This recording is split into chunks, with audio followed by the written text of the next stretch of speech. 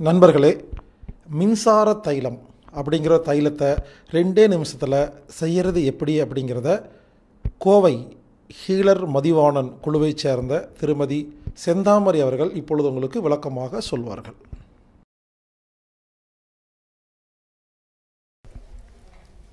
மின்சார தைலம் செய்ய தேவையான பொருட்கள் ஓம உப்பு இருபது கிராம் பச்சை கற்பூரம் இருபது கிராம் பு புதினா உப்பு இருபது கிராம்.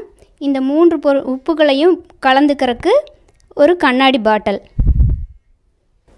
மின்சார தைலம் தயாரிக்கிறது ரொம்ப சுலபந்தான் இந்த மூன்று உப்புக்களையுமே நம்ம சம அளவு இந்த கண்ணாடி பாட்டிலில் போட்டு எடுத்துக்கணும். இந்த தைலம் செய்கிறக்கு நம்ம கண்டிப்பாக கண்ணாடி பாட்டில் மட்டும்தான் உபயோகப்படுத்தணும்.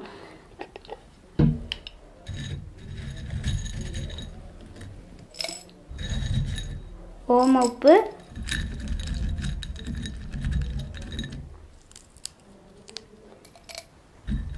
பச்சை கற்பூரம்.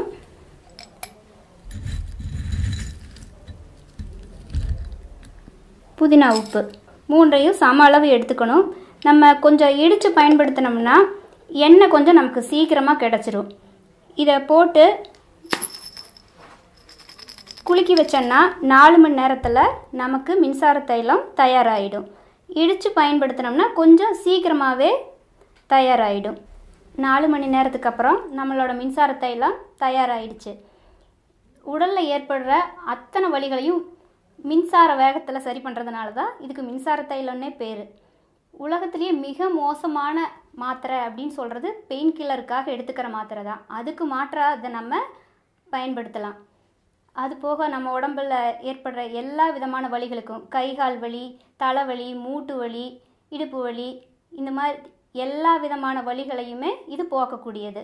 இதை நம்ம குறைஞ்ச அளவு பயன்படுத்தினாவே நம்மளோட வழிகள் எல்லாமே போயிடும். இவ்வளவு இத்தனை பயன் தரக்கூடிய இந்த மின்சார தைலத்தை நம்ம வீட்லேயே எளிமையாக தயாரித்து பயன்படுத்தலாம்.